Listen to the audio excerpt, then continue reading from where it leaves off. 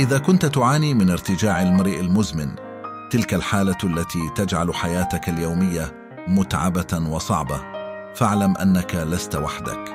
العديد من المرضى يواجهون نفس التحديات رغم محاولاتهم العديدة وتحايلهم على العلاج بشتى الطرق.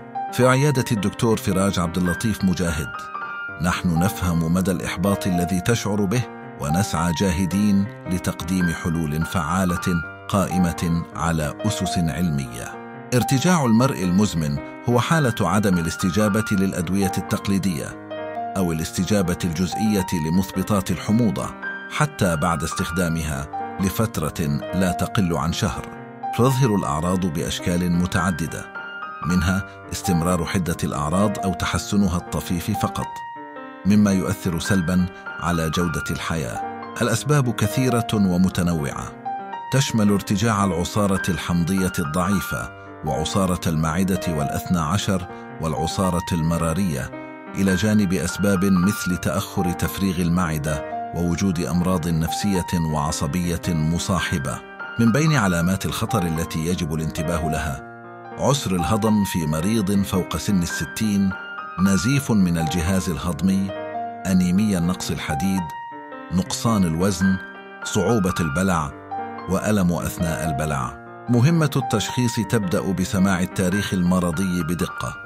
فحص المريض كاملا واستبعاد الحالات الأخرى المسببة للأعراض. الفحوصات اللازمة تشمل المنظار العلوي على المعدة. والمرئ قياس نسبة الحموضة وقياس حركية المرء. العلاج الناجح يعتمد بشكل كبير على تغيير نمط حياة المريض. لا بد من العمل على إنقاص الوزن الزائد. وضبط مواعيد الوجبات بحيث لا يتم الأكل والنوم مباشرة.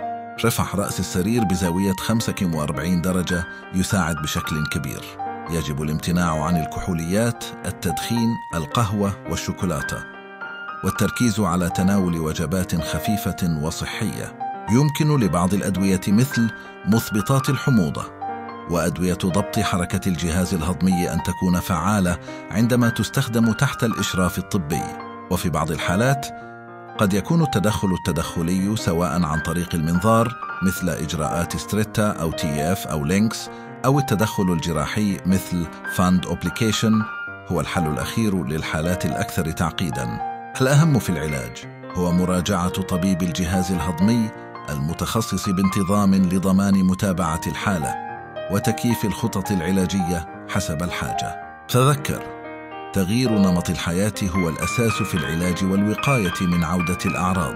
في عيادة الدكتور فراج عبد اللطيف مجاهد نلتزم بمساعدتك على العودة لحياة طبيعية وصحية بكل الجهود الممكنة